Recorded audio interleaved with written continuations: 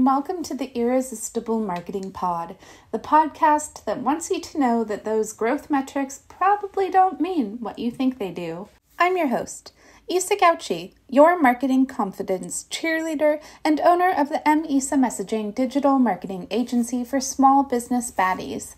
Today, we're going to talk about slow growth and why it's sometimes more of a protection than a punishment. So let's dive in.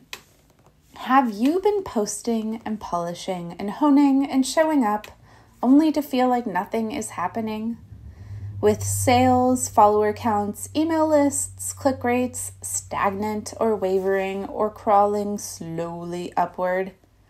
If that's the case, it's easy to feel discouraged when you're putting in so much effort and you still have to wait and wait and wait for the payoff.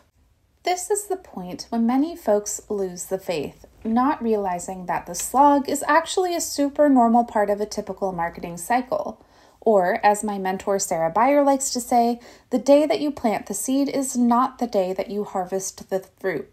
In other words, when you start something, it usually takes some time to, you know, gather nutrients under the soil in the dark before you can see any growth before something sprouts and then it takes a while to grow and shoot up and photosynthesize and whatever else plants do before it, it blossoms and fruit happens and it's ready to harvest. Like it usually that's a process that takes a while and sometimes it looks like it's not moving and sometimes you can't see anything at all but it's all a normal part of the growth cycle. But in those times when everything's happening under the surface, under the soil, or it looks like nothing's moving, um, folks start making this waiting mean something else. They start thinking that nothing's happening um, and not trusting that the things are happening. This is part of the normal cycle. They just can't see it yet. And so they start making up stories and explanations about why it's not fruiting yet, why it hasn't happened yet. And um, they tend to be catastrophic, like their business is doomed, or people don't value their product or service, or maybe even just people don't like them as a person. And they can really start to go wild here, coming up with increasingly mean explanations about why they're having to wait for the results that they want. And if you're feeling kind of called out here, you're not alone. I'm not immune to this. I get into this brain pattern too. And I have to talk my clients kind of down from the ledge from this too when when they're getting into this mind habit. So if if this is you right now, let's just hit the pause button on this self-bashing session and check in on two much more likely culprits for slow growth. So number 1, are you serving the clients and followers that you already have? So, this one's important because how are you doing with the clients that you have already right now in this moment? Because if you're calling in more when you're not serving what's here now, you're kind of sending out mixed messages. So, let's check in on this. Are you doing what you said you'd do when you said you'd do it? Are you communicating proactively with your people? Are you responding within a reasonable amount of time? How are you handling friction when it comes up? Ditto with your followers. How are you treating the ones that are already there? Are you giving them useful content that gives them helpful insights, brightens their days, or sparks their creativity? Or does everything you put in front of their face just ask for the hard sell? And when they take the time out of their busy days, out of their school to engage with your content, are you responding to their comments, their DMs, and their reshares to show appreciation for their engagement with your work? And are you engaging with their content and cheering them on? Because if we are not loving up the people who are already here, already investing in us, already investing in our work, already cheering us on, already celebrating us, we are not energetically indicating that we want more of where that came from. We're not energetically indicating that we want more of this. We're coming from a place of lack. We're saying this isn't enough, we don't have enough And we also just aren't treating our people very well. We're, you know, abundant energy is much more attractive energy than desperate energy. It's true in dating. Um, I'm sure it's true. Like, which friend do you have more fun going out to brunch with? Like, the friend that wants to tell you every little single thing that's gone wrong that week, or the friend that is really excited and bubbly and has all these things that are going right and things they're excited about. It's so much easier to feel abundant when you are appreciative of what you already have, like the customers you already have, like the followers you already have. And on a practical level, if you are not currently demonstrating a capacity to serve who is there already in your customer pool, in your audience, you might be unconsciously sabotaging efforts to call in more people. Number two thing to check on if your growth is happening slower than you would like it to is are you taking care of yourself with the clients and followers you already have right now? Because the issue of capacity goes way deeper than just are you technically delivering on the offer you promised to your customers?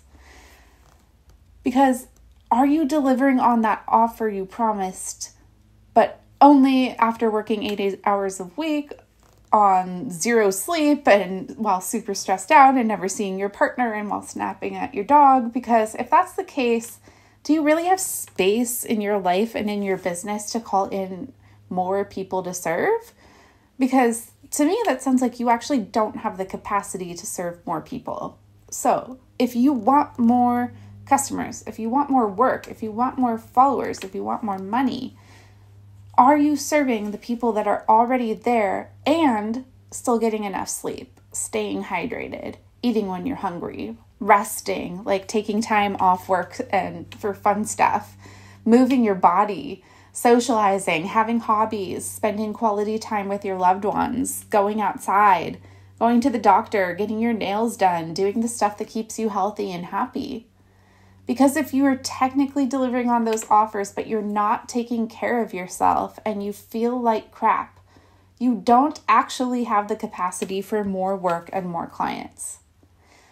And in a sense, if that's the case, aren't you being protected from more clients so that you can restructure your offers so that you're that selling more won't hurt you?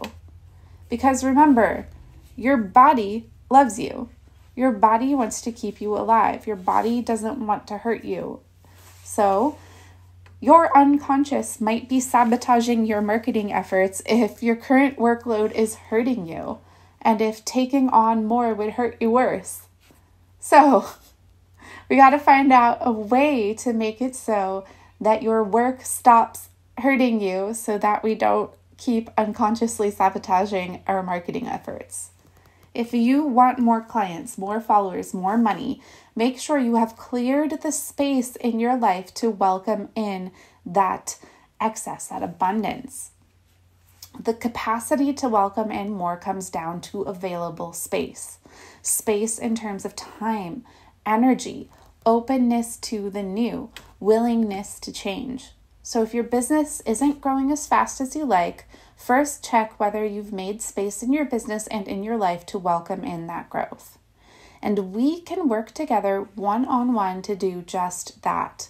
In my signature season of support program, you and I will work together one on one to structure and hone your offers to support the time, financial, creative, and energetic freedom you need to serve your people at your highest capacity. You being one of those people you serve at your highest capacity. And if you'd like to learn some incredible tools for clearing emotional space for greater professional capacity, do come to the Virtual Marketing Witchery Week this May 22nd through 26th, 2023.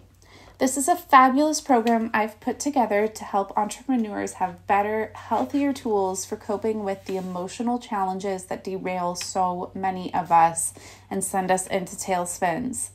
So, over the course of three interactive workshops and two group coaching sessions, I will teach you how to source an internal sense of safety even in the most uncertain of circumstances how to alchemize anxiety into creative energy, and how to smooth fear into an incredible ability to nurture yourself and others.